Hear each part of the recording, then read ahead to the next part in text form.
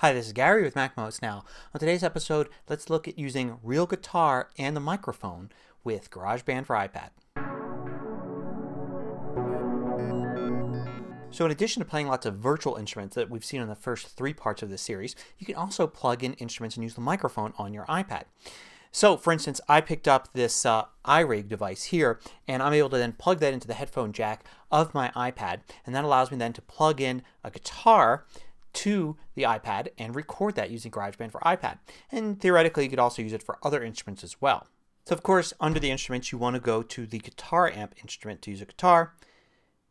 And then it comes in here and it shows you a little picture of guitar amp. You can flip through the different amps to try different ones.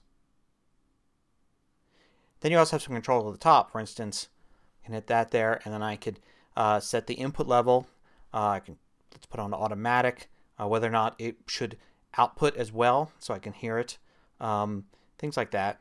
Uh, I also have a tuner that I can use to tune the guitar.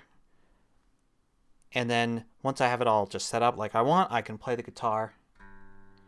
So I actually have many different variations here because you can flip through all of these. Uh, and you can also change at the top here, say to British pop, and then you have different set in here. Um, and then you can Go to say sparkling clean.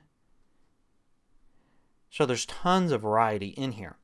And then beyond this you have pedals as well. So uh, let's stick with this one here and we can see what the note sounds like normally. And then we'll go get some foot pedals going on here and you can add them. You see the little blank spot there. So I can add like a fuzz pedal right there. And you can see with fuzz and I can turn it off.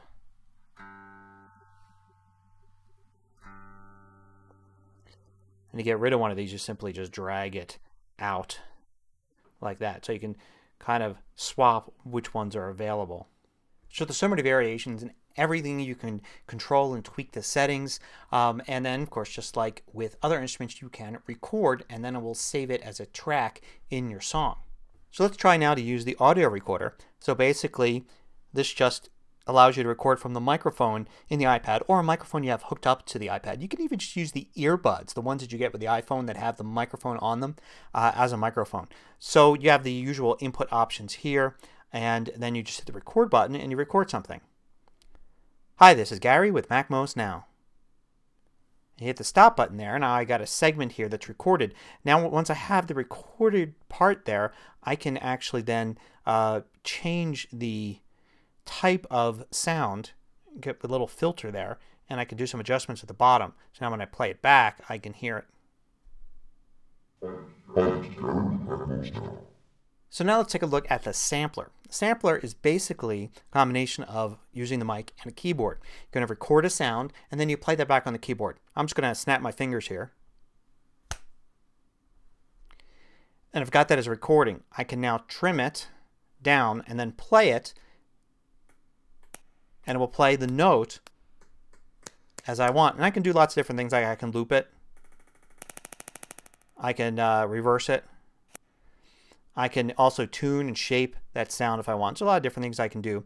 And I can then look at my library of sounds. I've got the sounds I've just recorded here and it's just called My Sample 1. I could rename that and I could add it to a permanent library there on the right. I could also um, just uh, keep those for sounds in this song. And below I've got the full keyboard where I can do all sorts of things. Let me go and, uh, for instance, take one of the default sounds in there. I can play that and then quickly shift to another one. And I can do all the different things I can do with a regular keyboard, like changing how the keyboard looks and things like that. And then I can go ahead and use the record button at the top to record that as a track into GarageBand.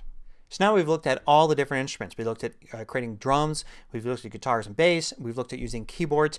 There's even a set of strings in there that you can play around with as well. And in this episode we looked at real instruments, adding guitar, adding an audio track just from the microphone, and even using the fun sampler. All these create tracks in GarageBand and in the future we'll be looking at how to modify and edit those tracks in your song document. Till next time, this is Gary with MacMost Now.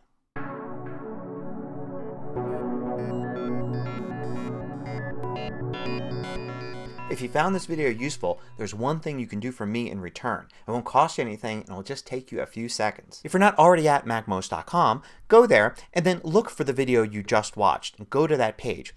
Underneath the video you'll see a bunch of different links that help you share the video with friends. Take a second to click the like button. This sends a signal out to the rest of the internet that the video is worth watching. Thanks.